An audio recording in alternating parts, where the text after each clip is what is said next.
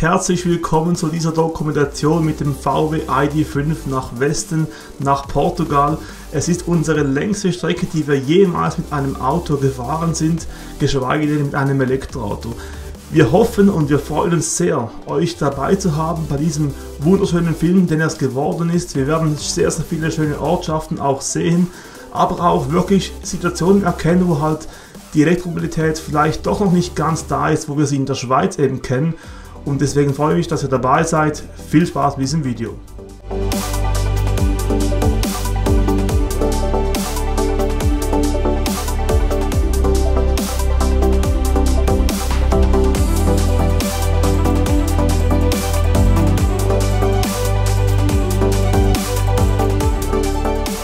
Erster Zwischenstopp also hier in Frankreich bei Ionity und wir haben nur kurz etwas gegessen, kurz auf die Toilette gegangen und schon haben wir wieder genug Energie weiterzufahren. Wir haben angesteckt bei 21 Prozent, jetzt haben wir 83 und das Ganze noch nicht mal eine halbe Stunde später. Mit anderen Worten, wir mussten noch nicht aufs Auto warten. Ist der zweite Ladestopp, der erste war nur kurz. Da hatten wir noch ein bisschen raufladen müssen, um eben hierher zu kommen. Das war noch in der Schweiz in Lülli. Jetzt geht es dann weiter ohne Stopp bis zum ersten Zwischenziel bei unserem Hotel.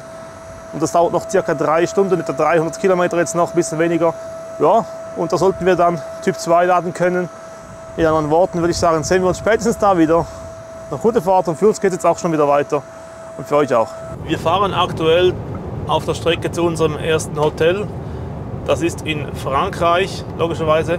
Und aktuell sind wir schon seit so ein bisschen was über fünf Stunden unterwegs. Wir gucken noch mal ganz kurz, wie es denn entsprechend auch mit den Daten aussieht. Vielleicht gerade hier noch ähm, aktuell hier seht ihr auch da vorne ist das die Ortschaft ähm, hier Clermont-Ferrand. Das heißt, dass ihr ein bisschen wisst, wo wir gerade aktuell sind. So. Und dann gucke ich hier mal bei Fahrzeug rein. Langzeit wir werden diesen Langzeitverbrauch übrigens ähm, kompletten, also den kompletten Urlaub über nicht resetten. Das heißt, wir wissen danach genau, wie viele wir im Urlaub gefahren sind, von uns zu Hause bis wieder zu uns zu Hause. Ja, fünf Stunden ist ein bisschen untertrieben gewesen, 6 Stunden 41 sind wir gefahren, da oben 625 Kilometer mit einem Verbrauch von 16,9 Kilowattstunden pro 100 Kilometer. Das finde ich einen sehr akzeptablen Wert. Gerade deswegen auch, weil wir ja konstant immer mit dem Tempo fahren, was angegeben ist, also zurzeit 130 hier in Frankreich. Vom Fahrverhalten her vielleicht mal was zu sagen. Es ist wirklich ein Traum, mit diesem Auto zu fahren, mit dem adaptiven Fahrwerk. Das ist wirklich ultimativ angenehm. Ähm, sehr geschmeidig, alles sehr gut gefedert, gut gedämmt, auch das Fahrzeug. Nicht viele Rollgeräusche, keine großen Winkgeräusche. Also das macht schon sehr, sehr viel Spaß und ich komme mir nicht vor, als wäre ich schon seit über 6,5 Stunden hier im Auto drin. Absolut entspannt. Ja. Und wenn wir gerade von Zahlen sprechen, schau hier, das finde ich cool, dass er das anzeigt, der ID5. Da oben sieht man nämlich auch, wenn die nächste Zahlstation kommt. Und ich würde doch sagen, wir nehmen doch diesen Moment gerade nochmal live mit. Denn wir haben ja ein Ticket.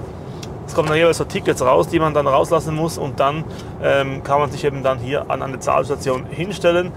Und ich musste mich ein bisschen umgewöhnen, denn beim Tesla kann ich ja nicht das Ticket so gerade rüberschieben, weil ich ja ziemlich äh, auf gleicher Ebene bin. Und da eben nicht. Da muss ich ein bisschen schauen, dass ich da auch genug nah ranfahre. Ja. So, wir sind dran. Mal gucken, was das Ganze nun kostet. Na, ran, ran. Kommst du ran? Ja. Was kostet der Spaß? 16,30 Euro. Paiement en cours. Paiement en cours immer noch. Ja, top. 16,30 Euro also. Beim ersten Mal hat es auch so um die 16,30 Euro gekostet, beim zweiten Mal 3,30 Euro. Das Traurige ist, ähm, dass in der teuren Schweiz eigentlich 40 Franken zahlen für eine Jahresgebühr für unsere schöne Vignette, die da oben klebt. Ja.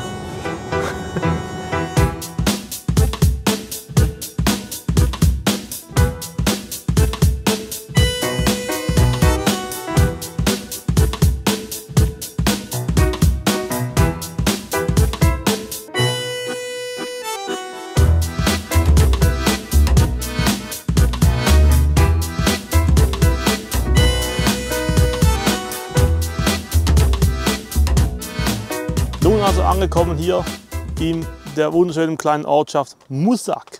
Das Hotel übrigens verlinke ich euch in der Videobeschreibung unten, ist kostenlose Werbung. Also, ja. Und schauen wir hier, die Ladesäule, es hat ja zwei Typ 2 Stationen mit jeweils 22 kW pro Station und hier lädt auch noch ein Kia EV6, ein GT-Line in weiß. Letztes Mal kurz schauen, was wir hier alles reingeladen haben. Wir laden mal kurz den Kofferraum aus, denn wir müssen jetzt zum Ladekabel, weil ja keinen Frank hat. Ja. Das ist jetzt genau der Nachteil, weil es eben keinen Frank hat, das Ladekabel ja unten verstaut ist. So, Koffer raus. Boah, ist das schwer. Das kann man schon aufmachen da. So, Ladekabel von VW da hinten. Und die Portugal-Flagge. Ein 11 kW Kabel, ja, den hat einen 2,5 mm Querschnitt, das heißt maximal 16 Ampere. Das reicht aber natürlich komplett aus. Übrigens, wir haben jetzt 7% Akku noch, also besser geht es ja fast nicht. Anstecken und schon lädt das Auto. Wow, super easy. Was willst du mehr, ja? Was willst du mehr als hier ins Hotel kommen? Gratis. Gratis, schauen wir hier die Gegend an. Ich zeige es euch mit der Drohne nachher noch ein bisschen. Also mega geil hier, also kann ich nur empfehlen. Im Herzen von Frankreich, das ist genau das, genau das sieht man eben nicht mit dem Flugzeug. So geil in Ortschaften wie hier wieder. Also eine Riesenempfehlung wert, es ist hier schön ruhig.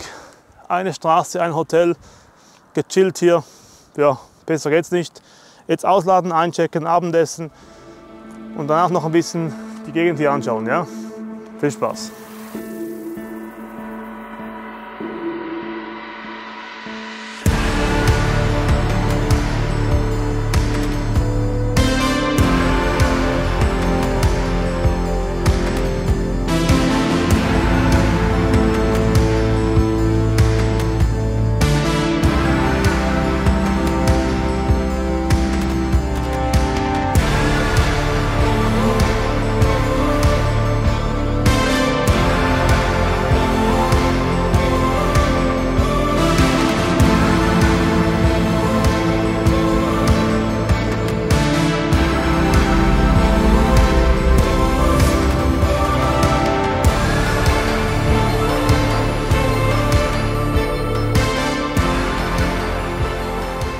Das also war Tag Nummer 1. Wir gingen dann ins Hotel, haben perfekt nachgegessen.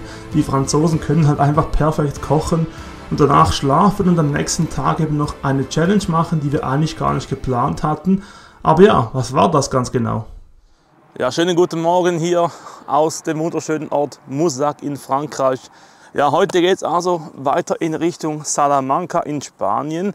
Das sind knapp 1000 Kilometer, die wir heute fahren müssen, dürfen, können. Ja aber die Routenplanung machen wir doch gleich im Auto, denn wir haben jetzt hier 100% wieder im Akku drin, über Nacht gratis laden können. Vielen Dank. Ja. Und also nun geht es weiter ins Auto, Routenplanung live mit dem Volkswagen ID.5. Ja, und dann saßen wir also im Auto und hatten probiert, eine Route zu erstellen. Mit natürlich Ladestationen automatisch hinzugefügt. Das ging teilweise auch, dennoch hatten wir nie das gewünschte Ergebnis, denn wir wollten eigentlich nur mit Ionity navigieren. Und nach langer Diskussion haben wir uns dann entschieden, weißt du was, wir machen es einfach ganz anders. Wir machen aus, diesem, aus dieser Fahrt nach Salamanca auch gleich eine kleine Challenge. Und was wir dann entschieden haben, das seht ihr jetzt. So, meine lieben Leute, wir haben uns entschieden, was wir machen. Wir machen Hypermiling. Ganz einfach. Wir haben jetzt Ionity angewählt, ähm, außerhalb von Bordeaux. Das ist schon fast an der spanischen Grenze. Also, also der Ionity-Lader ist schon fast an der spanischen Grenze. Und das sind 437 Kilometer, das seht ihr auch hier oben. Also knapp 440 Kilometer sind das, ja. Und wir können aber zurzeit nur 409 Kilometer fahren. 4 Stunden 14. Wir wollen also den ID5 mal richtig auf die harte Tour zeigen, was denn auch geht mit so einem Auto. 20 Zoll Reifen, Heckantrieb. Wir werden 110 km/h machen. Das haben wir uns gerade vorher entschieden. Und dann bin ich der Meinung, das ist erreichbar. Ja. Das holen wir raus. Das trauen wir uns definitiv zu. Wenn wir es nicht schaffen sollten oder irgendwie ins knapp werden sollte, dann sind wir im EMBW-Land. Ja? Also was kann uns groß passieren? Wir sollten da um 13.34 ankommen mit zurzeit definitiv unter der Kilometeranzeige, die, das, die er da berechnet. Aber wir sind ja schon seit über zwei Jahren jetzt im Elektroauto unterwegs. Ja drei Jahre jetzt, ja. 2019 war es ja. ja. Fast drei Jahre schon unterwegs mit dem Elektroauto. Und wir wissen schon, wie wir einen Kilometer rausquetschen können. Ja? Und wenn der ID5 430 Kilometer auf der Autobahn schafft, klar, mit 110, dann sage ich, hey, das ist erfüllt. Ja. Und da, um, das geht es jetzt. Ja. Wir sind ja jetzt bei 100 Prozent, also jetzt bei 99 Prozent sind wir. Das geht schon, ja. Da sind wir positiv eingestellt. Das passt so. Gut, also danach seht ihr also, ob wir es schaffen oder nicht. Und dann sehen wir uns spätestens beim Ionity Lader oder vielleicht ein bisschen früher, wenn wir es nicht schaffen sollten. Viel Spaß!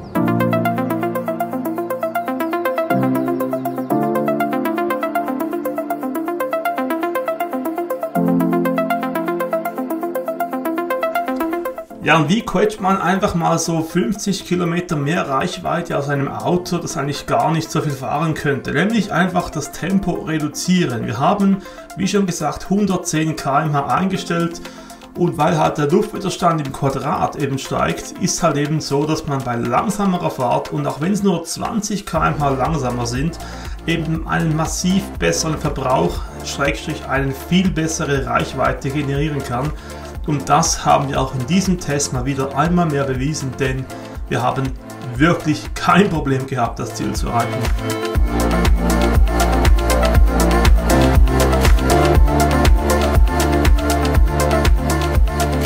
So, guten Tag, meine Damen und Herren, hier von der Ladestation. Hier von der Station Ionity bei Laben auf der Autobahn Raststätte. Ja, das Auto ist jetzt am Laden. Wir sind bei 6% angekommen, haben jetzt schon auf 85% hochgeladen in 33 Minuten. Das ist ein Top-Wert auf jeden Fall. Wir haben mit dem Auto auch eine unglaubliche Challenge gemacht. Wir haben mit 110 los oder wir sind mit 110 gefahren die ganze Strecke von unserem Hotel in Frankreich bis eben hierher. Das waren knapp 450 Kilometer und es hat locker gereicht. Wir haben noch über 20 Kilometer Restreichweite gehabt, also tip top. Das ist übrigens die Strecke, die wir heute gefahren sind. 441 Kilometer mit Verbrauch 15,7. 100% bis 6% ein wirklich Top-Wert auf jeden Fall. Gesamt sind wir jetzt gefahren über 1200 Kilometer bei einem Verbrauch von 16,9. Und jetzt, was sagt er mir, wenn ich bis zum Hotel navigieren will? Das Hotel 2 ist es also da. Er plant Station ein. Rot. Kein gutes Zeichen, rot. Briviescar Nord. Das ist genau die Station bei Burgos. Ich kann es einfach nicht lassen, das zu probieren. Denn wenn wir da nicht laden können, das ist ja nicht so dramatisch, denn deshalb, wir haben genug Akku, äh, ist überhaupt kein Problem. So. Wir kämen da mit 32% an aktuell, also jetzt sogar 33, wir sind noch hier am Laden logischerweise. Das heißt, wir können locker noch eine andere Station suchen. Also da ist kein Problem mit dabei. EMBW geht in Spanien, also von daher würde ich es so sagen, wir da wir sowieso einmal laden müssen auf dem Weg jetzt noch, fahren wir dahin. Wenn es geht, sind wir die Könige. Dann haben wir nämlich Jackpot gezogen. Ja. Wenn es nicht geht, dann frage ich mich, warum das so ist. Das können wir vielleicht dann auch vor Ort auschecken. Ja. Wäre noch spannend fürs Video. Und wir müssen halt dann noch eine andere Lösung suchen, was aber denke ich kein Problem ist. Ja. Weil beim Hotel können wir laden, also wenn wir beim Hotel mit weniger als 10% ankommen, ist das kein Thema und hätte sowieso noch einen 150 kW Lader da in äh, Salamanca. Das ist kein Thema, kein Problem. Gut, das ist, denke ich unser Plan. Was meinst du, Selina, zu diesem Plan? Top. Super, also machen wir das. Fahren wir dahin, schauen es, ob es geht oder nicht. Ich bin heute sehr, sehr zuversichtlich.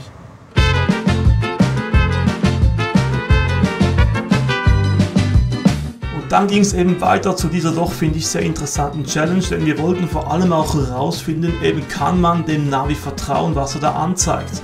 Und bevor jetzt die Kommentare kommen, ja, wir mussten da sowieso vorbeifahren, also ob wir jetzt da noch kurz rausfahren, um es auszuchecken oder eben nicht, das hatte für die Route absolut null Einfluss.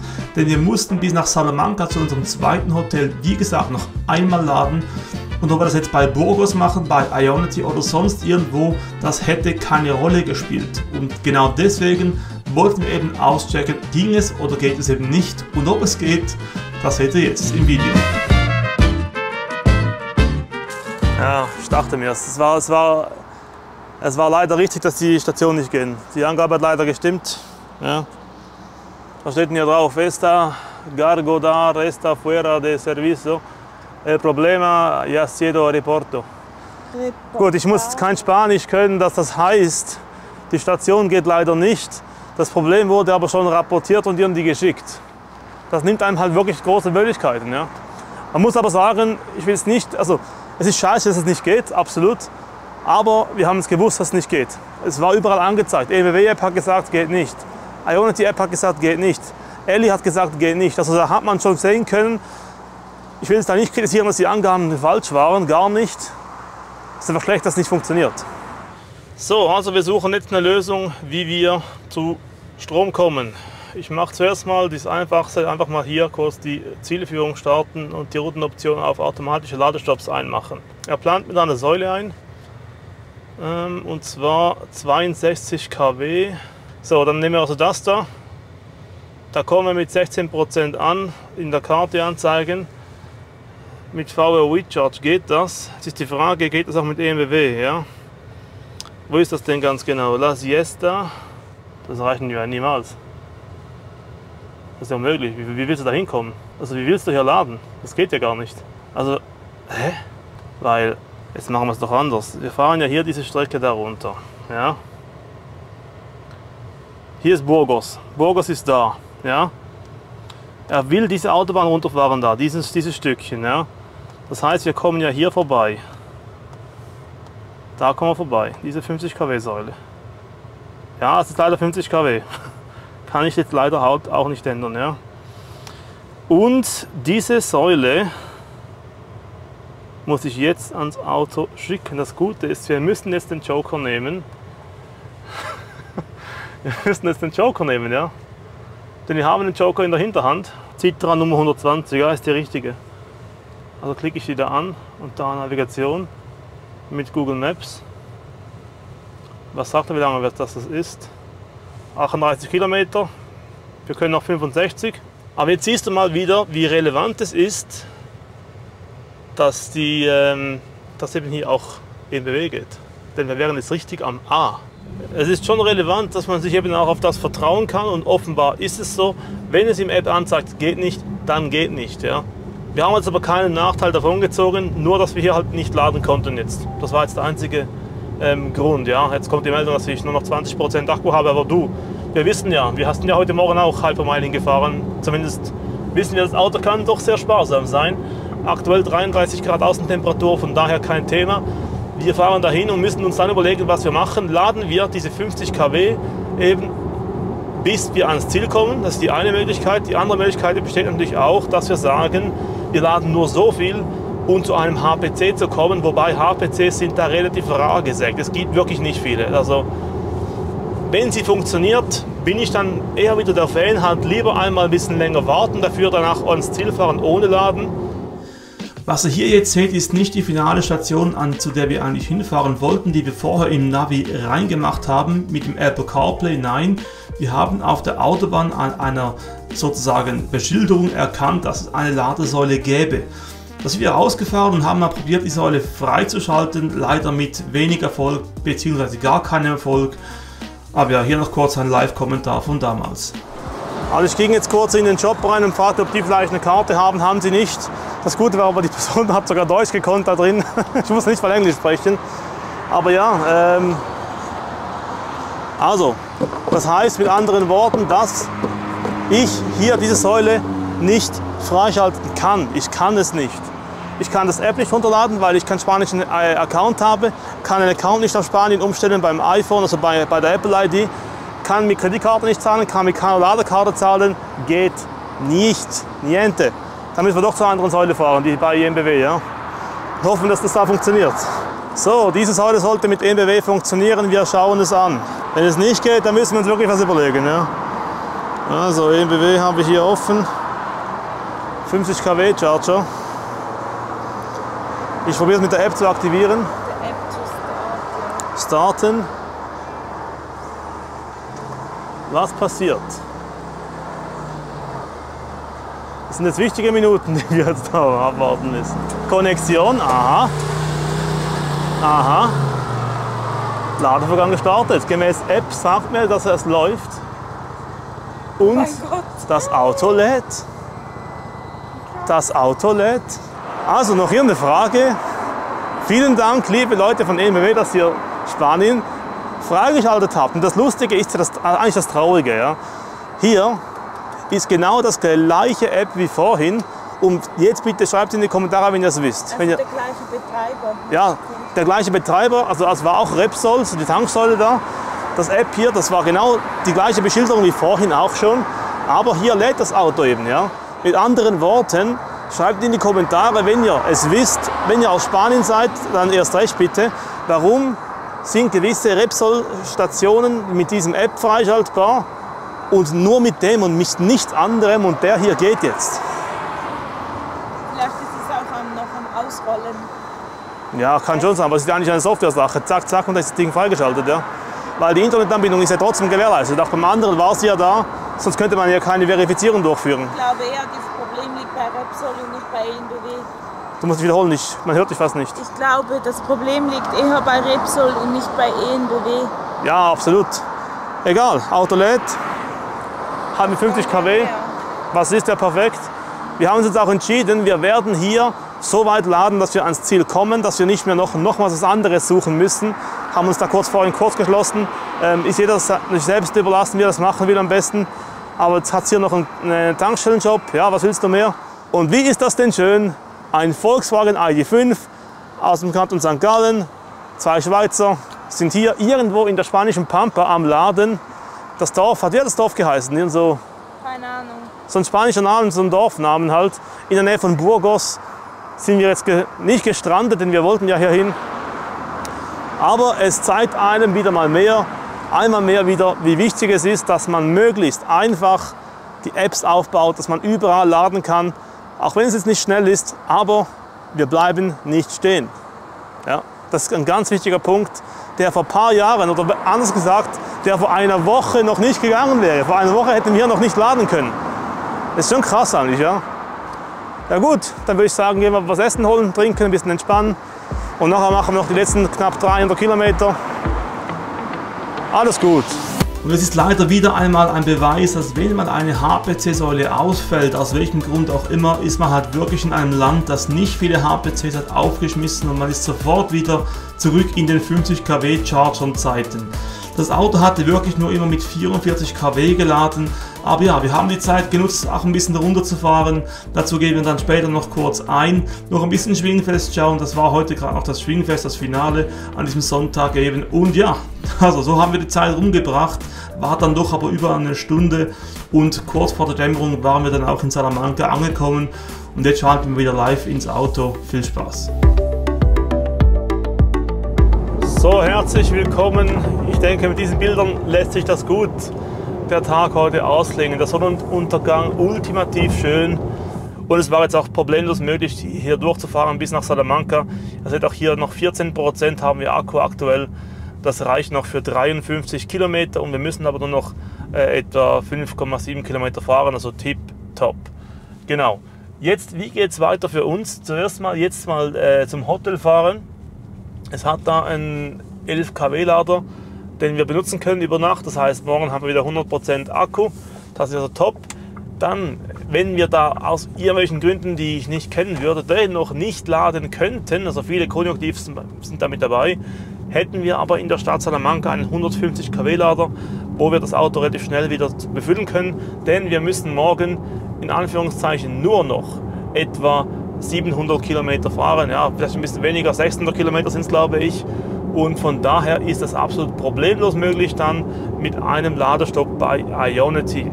Jetzt sieht man auch mal ein bisschen das Ambiente-Licht im VW ID5. Gefällt mir sehr, sehr gut. Das Matrix-Licht hat aber noch nicht seine Anwendung gefunden bis heute oder bis anhin. Außer ein paar Mal in den Tu- Tunnels drin hat es da ein bisschen sich angeschaltet, aber aktuell sonst noch nichts weiter. Ja, also ich würde sagen, jetzt genießen wir noch die Stadt Salamanca ein wenig. Ich nehme euch da auch noch mit der Kamera mit, mache da ein paar schöne Bilder zusammen und danach geht es morgen weiter für uns in Richtung Portugal. Das letzte Land dann, wo wir durchfahren. Und dann sind wir auch bei unserem Ziel im Hotel angekommen. Ja, und deswegen bis dahin wünschen eine gute Nacht. Und bis morgen. Ciao miteinander.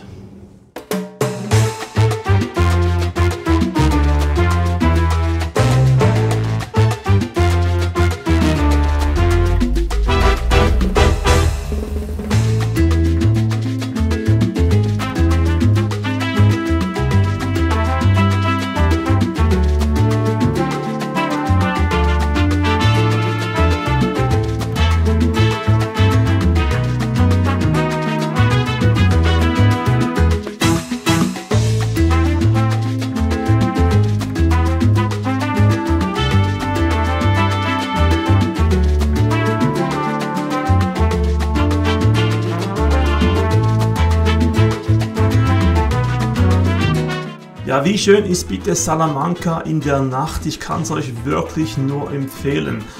Aber ja, die Nacht also schön geschlafen, morgen aufgestanden, ausgeschlafen, Frühstück gegessen und dann waren wir bereit für die letzte Etappe, die uns dann nach Portugal bringen sollte. Und ja, ich kann euch nur so viel verraten. Es hat sehr gut begonnen und hat dann ziemlich anders geendet oder ist dann ziemlich anders weitergegangen. Aber was ist da genau passiert? You are not authorized to start charging. Ja, als wir dann die Grenze nach Portugal überquert hatten und eine Stunde wieder erhalten haben, weil Portugal in einer anderen Zeitzone liegt, fuhren wir also weiter zu der Ionity-Säule, die uns der VW ins Navi reingemacht hat. Und da mussten wir leider feststellen, dass die Eli-Karte in Portugal nicht funktioniert. Das war zu diesem Zeitpunkt damals nach wie vor so und ist auch heute noch so. Und das Problem ist nicht unbedingt, dass Portugal keine Ladesäule hätte. Nein, denn Portugal hat einfach andere politische Richtlinien, wie die Stationen freigeschaltet werden können. Und Eddy ist eben da nicht erlaubt und ausländische Anbieter sind da nicht erlaubt. Und ja, das ist auch das Problem gewesen. Deswegen haben wir dann an dieser Säule relativ viel Zeit verloren, mussten dann mühsam via eines Apps die volle 79 Cent bezahlen. Nochmals klar äh, erwähnt, es geht mir nicht darum, das Geld zu zahlen, es geht mir darum, dass die Eli-Karte in Portugal nicht funktioniert von einem Anbieter, dessen Auto ich fahre und VW bezahlt ja unter anderem Ionity. Ja, spezielle Geschäftsbedingungen also und dennoch konnten wir dann laden mussten aber dann ein Halbmining betreiben, denn ich wollte nicht noch ein zweites Mal diese 79 Cent bezahlen, um dann ans Ziel zu kommen. Ja, sehr viel Ärger, sehr viel Luft haben wir da auch abgelassen. Die Videos dazu findet ihr auch in unserer Playlist, zu, also die wir da damals schon gemacht haben. Das könnt ihr da schon entsprechend nachschauen. Aber ja, dennoch haben wir dann das Ziel erreicht und die Bilder, die uns da erwartet haben, haben dann schon alles wirklich definitiv übertroffen und haben uns definitiv die Reise dann doch noch mit einem Happy End, zumindest mal zum Teil 1, beendet.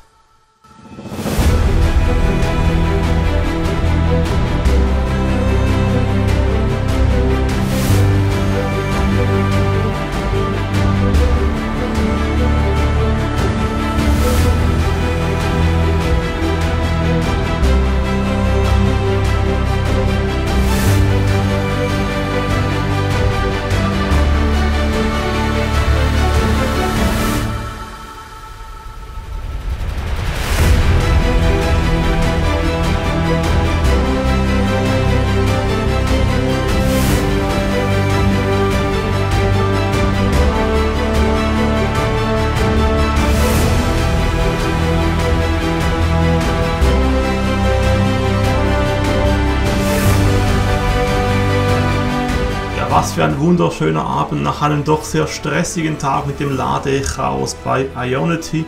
Aber es hat sich definitiv gelohnt und jetzt konnte der Urlaub also richtig beginnen. Und wir haben uns nicht nehmen lassen, auch dann gleich einen Ausflug zu machen und zwar zum südwestlichsten Punkt des europäischen Festlandes, dem Gabo de São Vicente.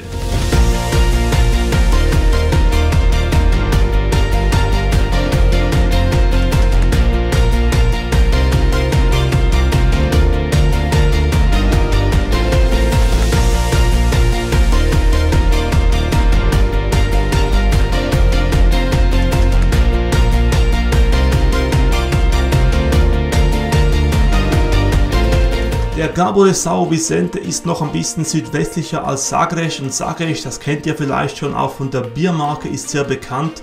Und nach diesem Punkt, wenn man jetzt weiter übers Meer fahren würde, über den Atlantik, ist eben der offene Ozean, das heißt vor den USA kommt kein Land mehr.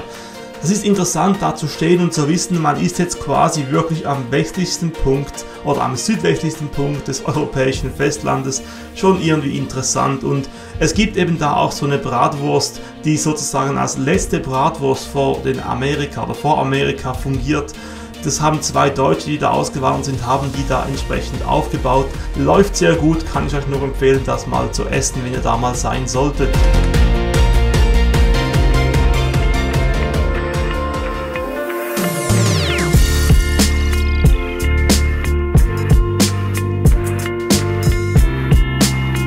Hier ist Lagos, eine Stadt am Atlantik, an der Küste direkt mit sehr, sehr viel Geschichte.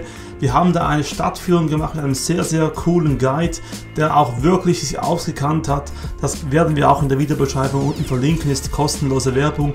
Also das müsst ihr unbedingt da anschauen, wenn ihr da vor Ort seid, kann ich wirklich nur empfehlen. Aber wenn ihr denkt, wir sind nur ein bisschen in der Stadt und ein bisschen da schön Dinge anschauen gegangen, nein, nein wir haben schon noch ein bisschen Action noch gemacht und danach ging es eben noch mit dem Schiff von Portimao in oder auf das Meer ein bisschen schippern, die ganzen Küsten anschauen und dazu jetzt hier ein paar schöne Szenen.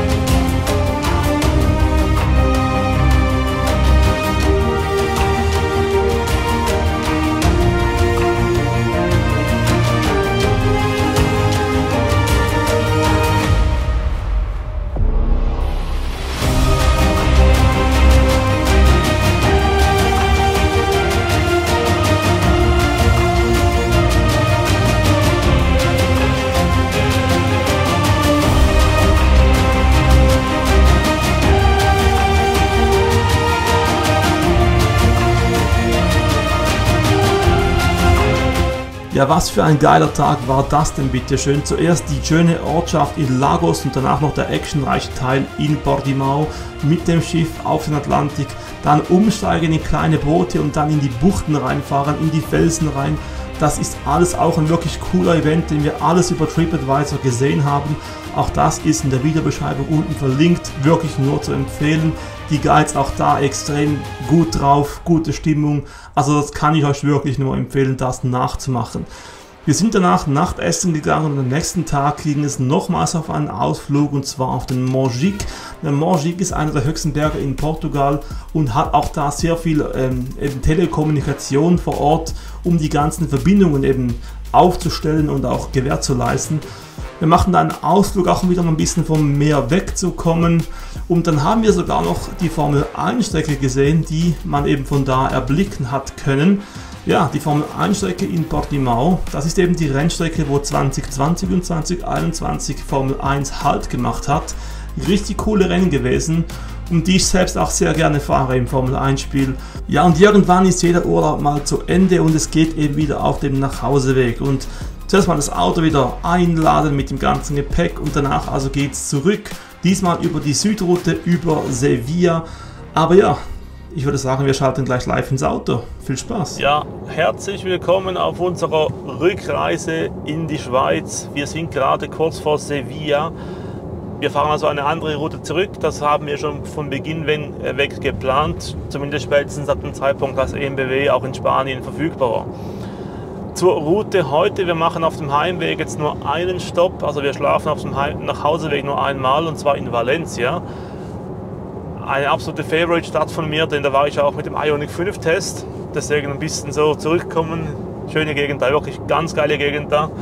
Da schlafen wir eine Nacht, das heißt heute haben wir ca. 920 Kilometer vor uns und morgen dann 1400. Ja, das ist okay so wir machen jetzt auf dem Hinweg eine Zwei-Stopp-Strategie. Das heißt, das ist möglich, weil wir beim Hotel ja losgefahren sind mit 100 Prozent. Und jetzt laden wir also da bei Sevilla am Porsche HPC.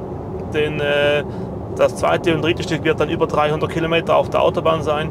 Und wir laden dann in äh, oder bei Ionity El Hidalgo. Das ist so zwischen Sevilla und Madrid auf dieser Strecke da das Navi wirklich top, wobei ich sagen muss, die Routenplanung automatisiert habe ich deaktiviert, denn die ist hier wirklich im Süden ja, dann doch ein bisschen überfordert, weil es halt wirklich nicht so viele HPCs hat.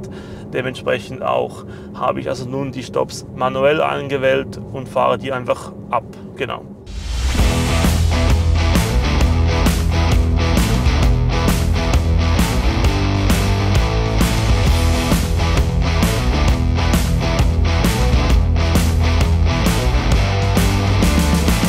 So, herzlich willkommen hier kurz vor der Ausfahrt zum Ionity-Lader Valdepeñas El Hidalgo.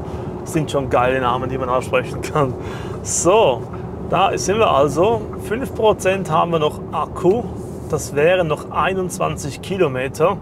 Müssen aber nur noch jetzt kurz in diese Kurve und dann auf den Rasthof drauf, um dann das Auto so weit vollzuladen, dass wir danach nach Valencia ohne Stopp können. Zum Verbrauch ähm, komme ich jetzt dann gleich so. Fahrzeug. Und jetzt haben wir heute also Daten so ähm, gefahren knapp 600 Kilometer in knapp 5, ja, knapp 6 Stunden, ein bisschen weniger noch, 19,5 der Verbrauch, aktuell Durchschnitt 103, das ist sehr gut. Langzeit über 3300 Kilometer schon gefahren, 18,3 der Verbrauch, das finde ich in Ordnung. So, und jetzt müssen wir Ionity suchen. Wir fahren Ionity Nummer 1, 5%. Wir werden jetzt circa 35 Minuten laden, dass wir auf 90% sind. Das ist das Geile an diesem Auto. Es lädt unglaublich schnell auf, auch mit 400 Volt. Das will ich so sehen. Ja? Ionity, Eli, Spanien, das ist Love. Das ist nicht Portugal. Ansteckend los.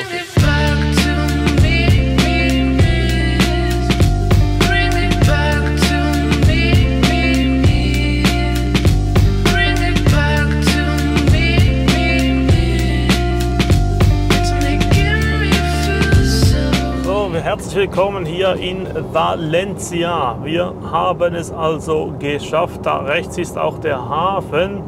Genau, ich war ja hier in Valencia beim Ionic 5 Test und habe damals gesagt, dass es doch schon anstrengend ist, alleine fahren, fremde Stadt, fremdes Auto und dann noch filmen. Und voilà, jetzt sind wir zu zweit. Ohne Ionic 5, aber das spielt auch keine Rolle. Wir haben auch einen 5er, und zwar den ID. Ja, also immerhin das ist geblieben. Wir sind jetzt dann gleich bei unserem Hotel. Das ist auch gleich neben dem Stadion Mestalla, dem Fußballstadion vom FC Valencia. Das mal zum Thema. Jetzt müssen wir dann noch kurz auf den Verbrauch schauen. Das können wir jetzt gleich machen, weil da vorne ist sowieso ein rotes Signal. So, heute sind wir also gefahren. Das seht ihr hier. 921 Kilometer. Wir müssen nur noch 2,3 Kilometer bis zum Ziel. Mit anderen Worten, ein guter Wert, wie ich finde. 18,5 der Verbrauch. Er ging nochmals, so die Brille weg, er ging nochmals ein bisschen runter, jetzt weil es am Schluss noch bergab ging, weil wir hier wieder am Mittelmeer sind oder jetzt am Mittelmeer sind. Vorher war es der Atlantik. Und Langzeit noch einen Blick drauf werfen. Jetzt die dreieinhalbtausend auch geknackt. 18,1 der Verbrauch pendelt sich da wirklich gut ein das passt doch so. Und jetzt würde ich also sagen, geht es für uns ins Hotel und morgen geht es dann die mit Abstand längste Fahrt, 1400 Kilometer, zurück in die wunderschöne Schweiz. Und das gibt es morgen. Für euch ein kurzer Schnitt und für uns noch einmal schlafen, Nachtessen, noch die Stadt genießen und dann geht's weiter. Viel Spaß. Auch in diesem Hotel konnten wir wieder komplett kostenlos das Auto aufladen, sodass wir am nächsten Morgen mit 100% Akku wieder losfahren konnten. Wir haben uns entschieden auszuschlafen und lieber dann in die Nacht reinfahren, weil ich in der Nacht halt gerne fahre und weil das Auto auch ein Matrix LED-Licht hat. Wir haben auch entsprechend gut gegessen und dann ging es also zurück wieder bei Barcelona durch. Da haben wir noch kurz geladen und dann weiter über die französische Grenze nach Frankreich und dann eben noch ganz kurz bei Perpignan an den Supercharger. Ja, warum denn das denn? Willkommen hier in Riffsalt am Supercharger und ihr seht schon, wie ich hingefahren bin. So blockiere ich nämlich keine weitere Supercharger, denn eigentlich wäre dieser Parkplatz, wo ich hier stehe, für den Tesla, weil er den Ladeport hinten hat auf der Fahrerseite, perfekt, um eben das so einzustecken. Ist aber nicht möglich und der VW hat den Port auf der anderen Seite. Würde ich mich hier hinstellen, müsste ich ja diesen Stecker da nehmen, weil das Kabel ist, schau mal, es ist nicht so lange. Mit anderen Worten blockiere ich so keinen Supercharger und der Platz ist dann sozusagen einfach tot. Ja. Es windet hier relativ stark. Also da aufpassen, wie ihr hinfahrt. Natürlich, wenn es nicht anders geht, aber es genug Stalls, jetzt 20 Stalls, kein Problem. Ja. Stecker nehmen, Magnetknopf wird nicht funktionieren, der ist nur für die Teslas, ja, ganz wichtig. Wir brauchen CCS-Stecker unbedingt. Einstecken habe ich noch nie gemacht, persönlich jetzt. Ja. Jetzt müsst ihr nämlich hier beim Tesla App, ich mache es kurz eben auf, ihr braucht das Tesla App auf jeden Fall, ganz ganz wichtig, sonst geht es nicht, auch wenn ihr keinen Tesla fährt. Ja. Dann geht ihr hier, ich setze es auch eingeblendet, auf Laden Sie Ihr Nicht-Tesla-Fahrzeug auf. Und jetzt kommt eben hier der Supercharger. Und jetzt kann ich die Station auswählen. Und wie finde ich das raus? Da unten hat es nämlich die Beschilderung, die zwar ein bisschen hässlich aussieht, da, aber da müsst ihr also jetzt zum Beispiel in diesem Fall 3D nehmen. Das mache ich jetzt auch müsst die Kreditkarte zuerst hinterlegen und dann Ladevorgang starten drücken. Und jetzt sollte es also dann funktionieren. Ja. Er ist jetzt am Kommunizieren, schon geht's los. Das geht einfach schnell. Und jetzt seht ihr auf dem Display, ihr seht es auch eingeblendet nach wie vor, die Ladeleistung ist zurzeit ähm, ähm, 22 Prozent, haben wir aktuell noch Akku drin, Supercharger geht los. Wir haben hier, wir gehen ein bisschen weg, dass es nicht so laut ist, wir haben hier die Möglichkeit mit bis zu 250 kW zu laden, theoretisch. Wir haben hier das gefakte CCS, das heißt 500 Ampere hat normalerweise ein CCS-Stecker, hier aber 625 mit 400 Volt, heißt also 250.000 Watt, also 250 kW.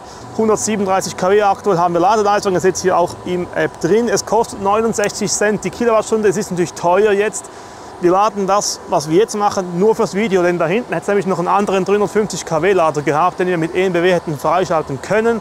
Das ist nur fürs Video. Also ihr braucht Tesla App, ihr braucht unbedingt auch Internet im Ausland, sonst geht es nämlich nicht. Aber ihr habt gesehen, es geht ratzefatze schnell. Anstecken, auswählen, fertig und nichts weiter machen. Ja? Also, weiter geht's.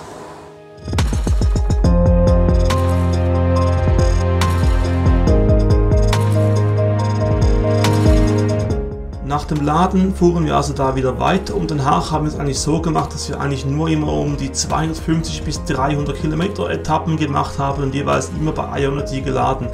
Relativ unspektakulär, denn je näher wir an die Schweiz kommen oder kamen, hat es eben auch wieder automatisch mehrere Ionities gehabt. Und wir mussten eigentlich dann wirklich nie mehr ein Problem feststellen. Es ging perfekt. Die Routenplanung automatisiert habe ich dennoch ausgeschaltet. Warum? Ja, ist einfach nicht so genau. Höhendaten nimmt er nicht so richtig gut. Und ja, in der Schweiz hat uns auch ein bisschen dann noch der Regen begrüßt, als hätten wir es vermisst. Natürlich nicht. Aber muss ja auch wieder mal sein. Es war damals wirklich sehr, sehr trocken, nach da im September noch drin. Und ja, dann war es so Nacht. Wir fuhren perfekt nach Hause, keine Staus und logischerweise tiptoppe Bedienungen auch. Und dann hatten wir auch diese Strecke dann bewältigt und waren wieder zu Hause. Und ihr seht schon hier den Verbrauch sehr, sehr gut, ja. Top-Wert, aber zur Auswertung und zum Schluss kommen wir jetzt. Deswegen viel Spaß. Ja, das war es also von dieser Dokumentation, diesem Vlog. Es hat mich sehr gefreut, dass ihr da dabei gewesen seid bis hierhin. Ich verabschiede mich nun von allen Leuten, die das geschaut haben, wegen den schönen Bildern, Reisebericht etc. Und für alle, Kenner der Elektromobilität und Freunde von Zahlen, Daten, Fakten, die dürfen noch ein bisschen dranbleiben.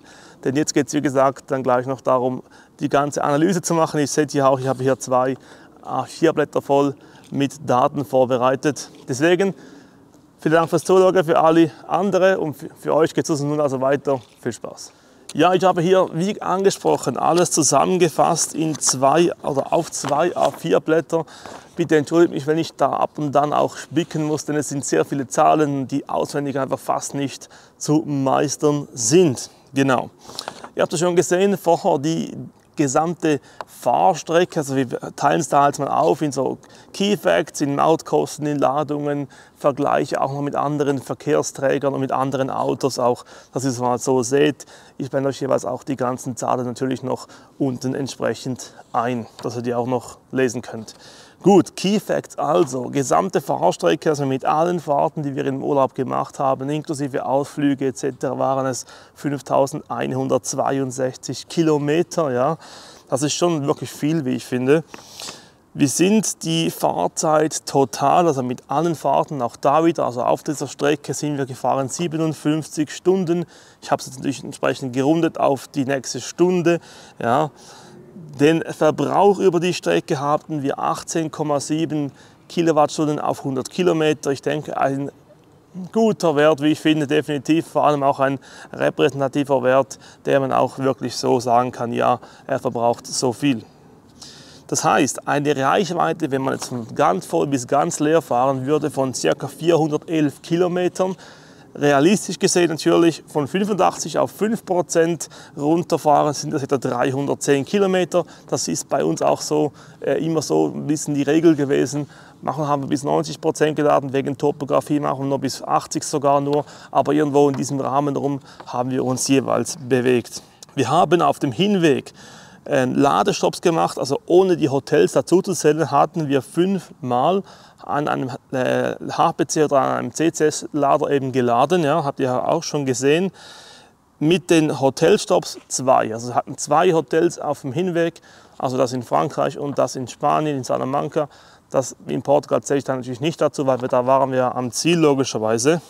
Auf dem ähm, Rückweg haben wir gesamt siebenmal geladen am CCS-Lader oder am HPC. Ähm, natürlich, weil wir da nur einmal am Hotel geladen haben in Valencia. Das heißt, wir hatten sozusagen eine Hotelladung noch am CCS-Lader machen müssen, logischerweise. Ja, wie viele Mautstops hatten wir denn? Es gab auf dem Hinweg 17 Mautstops. Das ist schon wirklich viel.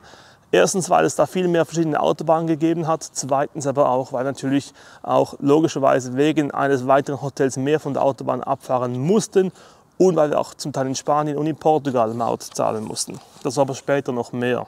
Denn wir kommen jetzt zu den Mautkosten. Wir sind da ganz offen und transparent, dass ihr euch das auch vorstellen könnt.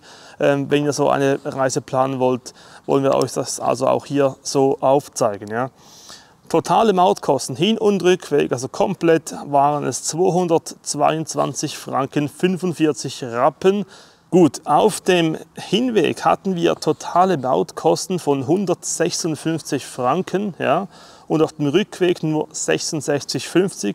Warum ist das so? Ja, auf dem Hinweg hatten wir nämlich in Frankreich 102 Franken, in Spanien 23,70 und in Portugal 30,25 und auf dem Rückweg in Portugal 0, also 0, in Spanien 0 und in Frankreich 66,50. Also die gesamten Kosten waren da nur in Frankreich angefallen. Wie man jetzt die Reise noch optimieren könnte, dazu komme ich dann auch gleich später noch. Jetzt geht es aber um die Ladungen.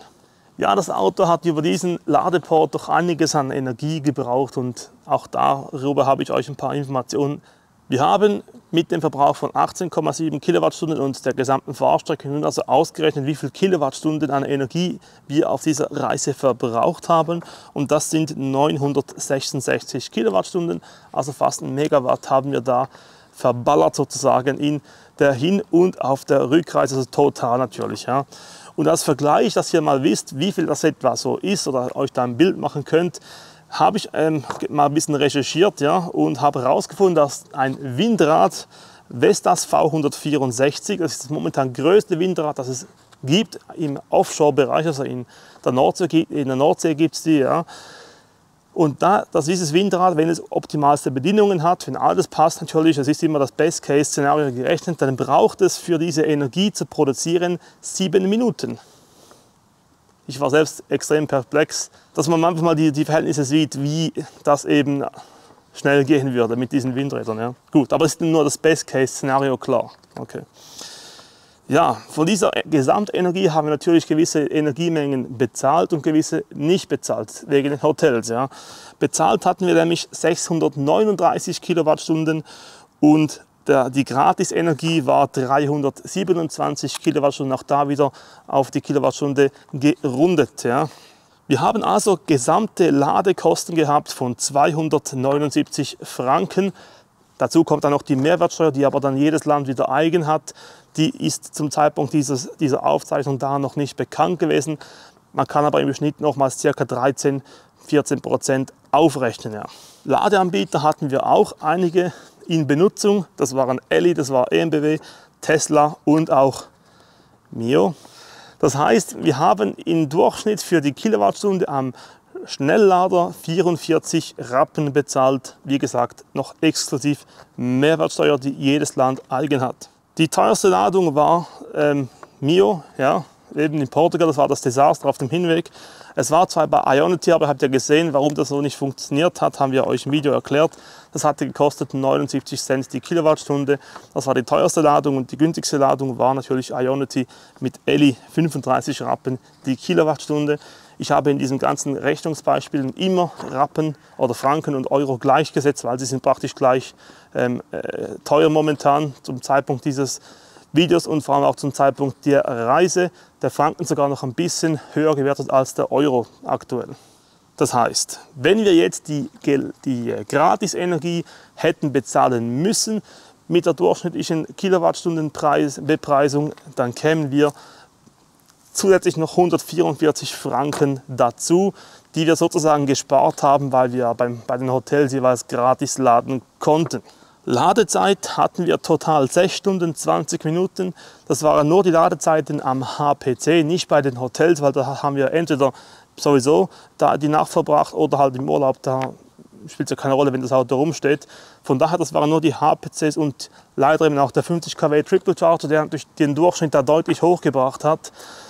Und der Durchschnitt ist nämlich auch interessant, denn es sind genau 32 Minuten, also pro Ladestopp, die es Zeit gekostet hat. Natürlich, der Triple Charger hat da mächtig raufgespült, es wäre deutlich tiefer, wären wir nur an HPCs gewesen. Ja.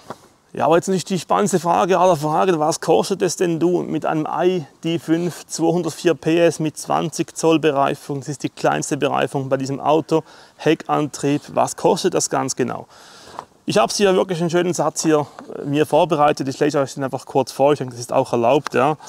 Der ID5 hat auf dieser Strecke Kosten von ca. 500 Franken verursacht. Es wurden Mautkosten und Ladekosten eingerechnet. Die kostenlosen Ladungen an Hotels sind nicht eingerechnet, wie schon angesprochen. Die Kosten für Übernachtungen und Essen sind ebenso nicht eingerechnet. Die kämen auch noch dazu oder kommen noch dazu. Ja.